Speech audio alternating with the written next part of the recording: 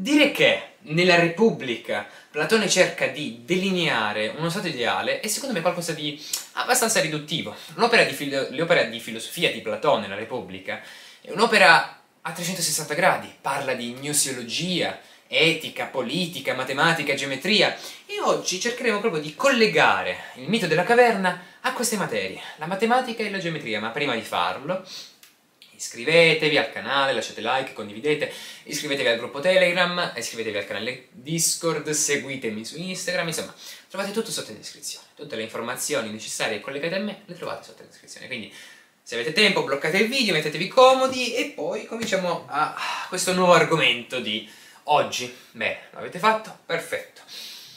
Cominciamo. Allora, um, parliamo innanzitutto del mito della caverna in sé per sé tralasciando il contesto. È un mito che viene introdotto proprio all'inizio inizio del libro settimo della Repubblica mm, e parla di questi prigionieri che sono incatenati, hanno delle catene al collo, quindi non possono neanche girarsi, possono vedere solo quello che hanno di fronte loro, una parete, ok?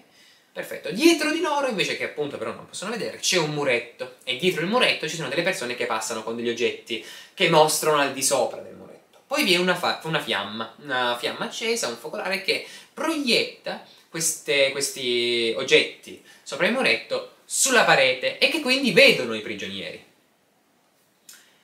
Loro però nascono, vivono e muoiono quindi pensando che il mondo sia quello, quella successione di proiezioni.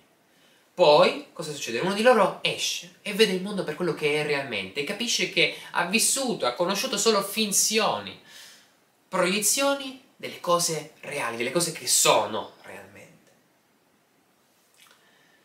Cosa potrà fare questo quest'uomo? Prima di tutto dovrà abituarsi, la sua vista, i suoi occhi dovranno abituarsi alla vera luce, alla luce del sole. Una volta fatto questo, o potrebbe rimanere nella sua torre d'avorio, in cui l'anima no, è ascesa, verso cui l'anima è ascesa, oppure potrebbe scendere dalla torre d'avorio e ritornare nella caverna per convincere i suoi ex compagni che il mondo di là fuori, il vero mondo, il mondo per quello che è realmente, è più bello.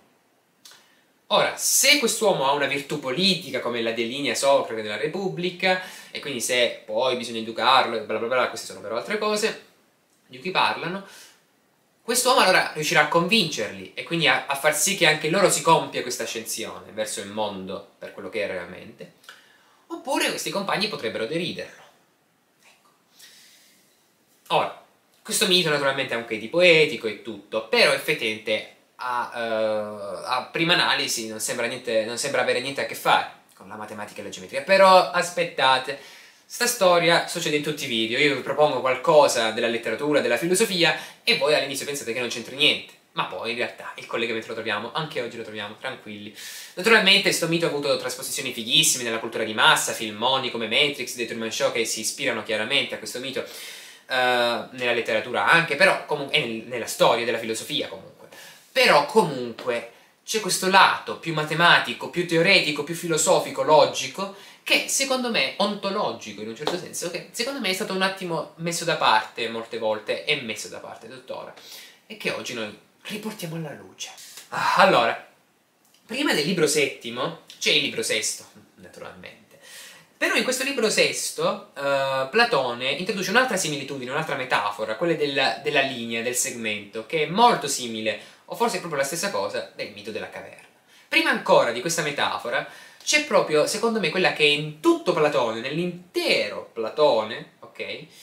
È l'esposizione più chiara, sintetica, perfetta dell'idea del bene e della teoria delle forme in Platone stesso. Sostanzialmente lui dice che il sole sta alle cose sensibili come il bene sta alle cose intelligibili, al mondo delle cose intelligibili. Che vuol dire questo? Vuol dire sostanzialmente, pensate, se io ora spegnessi la luce, voi non mi potreste vedere. Semplice, naturale. Perché? Perché la luce permette che voi mi vediate. Ora, ovviamente non è la luce del sole, ma facciamo finta che sia la luce del sole. Quindi la luce permette la conoscibilità delle cose. La luce del sole permette la conoscibilità delle cose sensibili, naturalmente stiamo parlando di me, che sono una cosa sensibile. Ehm... Um ma non è solo questo. La luce del sole permette per esempio la crescita delle piante, la generazione e così via, la vita. E quindi la luce del sole permette anche l'esistenza di quelle cose, non solo la conoscibilità ma l'esistenza stessa. Allo stesso modo avviene per le cose intelligibili, il cui, il cui sole è il bene, il bene che illumina la verità. E quindi io posso conoscerla solo attraverso il bene. Questo è anche un rifacimento all'intellettualismo etico del maestro di Platone, Socrate, che parla del fatto che il bene sia condizione, necessaria e sufficiente a compiere bene. Ma questa è un'altra storia. Ora, c'è una cosa molto importante da dire però. Platone, come Parmenide, ha sempre un po' di paura a trattare il mondo sensibile e questo forse, vabbè, Parmenide lo annulla totalmente. Parmenide dice non ha senso il mondo sensibile, esiste solo l'essere. L'essere è reale, ok? Ehm... In Platone succede qualcosa di strano, perché Platone ammette che il mondo sensibile sia una mescolanza tra essere e non essere, ma capisce che questo monstrum è un po', è un po contraddittorio, naturalmente. È una mescolanza un po' strana. Nel mondo delle cose sensibili, o meglio, le cose presenti, gli enti presenti nel mondo sensibile sono solo opinabili, non ci posso fare vera conoscenza sulle cose del mondo sensibile. Io posso conoscere solo le cose del quello che poi lui chiamerà comunque iperuranio, ma che attenzione non è un mondo metafisico, è comunque un mondo reale, concreto. Um, questo, questo, mondo, quindi, solo su questo mondo io ci posso fare vera conoscenza, il mondo delle cose intelligibili che posso comprendere solo con l'intelletto e che quindi trascendono tutte quelle che sono le proprietà materiali e appunto sensibili. Perché? Che cosa vuol dire posso farci conoscenza? Posso raggiungere la verità. Par diciamo che ehm, non posso io parlare e rappresentare verità nel mondo sensibile, perché il mondo sensibile è molteplice e mutevole. Infatti Socrate, per parlare di queste cose, utilizza eh, l'esempio del fatto io posso mostrarvi diverse cose che possono essere belle e buone, ma io non posso conoscere la bellezza in sé e il buono in sé se tengo in riferimento solo questi esempi di bellezza e di bontà. Io devo conoscere la bellezza e la bontà per quel che sono davvero, in sé e per sé, ok? Quindi quelli sono solo esempi. E questa cosa, l'ho detta anche un'altra volta in un altro video, su cos'è il numero nel Menone, un altro dialogo di Platone, eh, c'era sostanzialmente Socrate che eh, spingeva lo schiavo, che questo schiavo a, a capire eh, l'irrazionalità del, della radice quadrata di 2 e spingeva anche Menone a capire cosa sia la virtù. Quando chiedeva a Menone cos'è la virtù, Menone, eh, Menone rispondeva con degli esempi, e invece no, perché gli esempi sono del mondo sensibile, il mondo sensibile è molteplice, sono tante cose, è mutevole, e questo a Platone non piace. Ecco dov'è il rifacimento a Parmenide. Non è un totale, un, un totale annullamento del mondo sensibile, ma è comunque un distacco. Un distacco che comunque non è dovuto al fatto che Platone fosse un genio e che fosse un luminare, che avesse ragione e tutto, ma probabilmente alla vita che ha vissuto, a una vita politica disordinata. Ora, Cosa c'entra tutto questo con la matematica e la geometria? Platone, abbiamo detto quindi, che secondo lui le cose sensibili sono solo opinabili, naturalmente, e l'opinione è un qualcosa che è intermedio tra l'ignoranza e la scienza, scienza che posso applicare solo alle cose intelligibili.